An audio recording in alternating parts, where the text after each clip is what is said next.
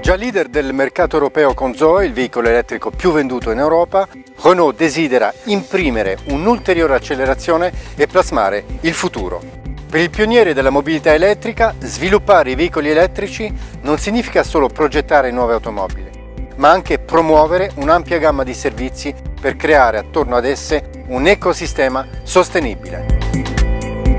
Ad ottobre il gruppo della Losanga ha annunciato la creazione di una filiale, Renault Energy Services. Dotata di uno spirito da start-up, essa nasce per investire in progetti nel settore delle reti elettriche intelligenti, dette smart grid, creando rapporti preferenziali con i diversi player dell'energia.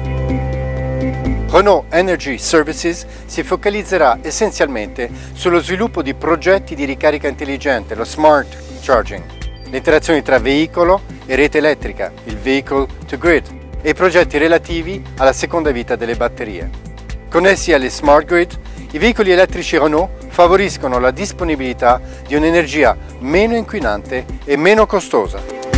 Anche dopo la sua vita automobilistica, la batteria del veicolo elettrico conserva un'importante capacità di stoccaggio. Con questa seconda vita delle batterie, Renault è oggi in grado di offrire una risposta a tutta la gamma di esigenze di stoccaggio di energia, dalla casa unifamiliare agli edifici ad uso ufficio, professionali o accademici, passando per le abitazioni o anche punti di ricarica di veicoli elettrici.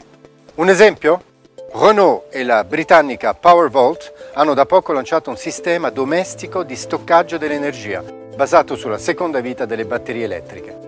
PowerVault ha lanciato un test con 50 unità costituite da batterie fornite da Renault, che avranno una seconda vita in abitazioni di clienti già equipaggiate con pannelli solari. Le unità Powerwall possono anche caricarsi automaticamente con un'energia a costo ridotto al di fuori delle ore di punta. Le batterie utilizzate nei veicoli elettrici con una vita compresa tra 8 e 10 anni guadagnano così una vita supplementare prima del riciclaggio stimata tra 5 e 10 anni. Altro esempio, eStore, l'innovativa tecnologia di stoccaggio dell'energia sviluppata dalla britannica Connected Energy, che utilizza batterie di seconda vita dei veicoli elettrici Renault. Connected Energy e Renault hanno installato due colonnine di ricarica rapida equipaggiate con questa tecnologia di cui beneficeranno per primi gli utenti delle autostrade belghe e tedesche.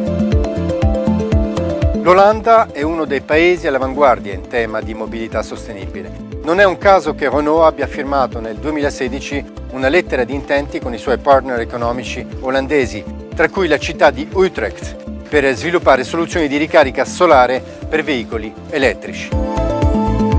Nella prima fase del progetto sono stati installati mille caricatori solari intelligenti alimentati dai 10.000 pannelli fotovoltaici della regione di Utrecht e parallelamente per i residenti della regione è stato creato un servizio di car sharing elettrico con una flotta di 150 Zoe alimentate da questa energia rinnovabile locale. La seconda fase del progetto prevede lo sviluppo dell'ecosistema Vehicle to Grid. La rete di caricatori solari ricarica il veicolo elettrico e lo scarica in funzione dei picchi di consumo, gettando le basi per un nuovo sistema di stoccaggio di energia da fonte rinnovabile. Utrecht promuove così una vita sana in ambito urbano per continuare ad affermare la sua leadership come regione più competitiva dell'Unione Europea, ma anche per ispirare altre regioni. E per rimanere nella terra dei mulini a vento, il gruppo Renault ha recentemente annunciato l'acquisizione del 25% di Jedlix, startup olandese specializzata nella ricarica intelligente dei veicoli elettrici.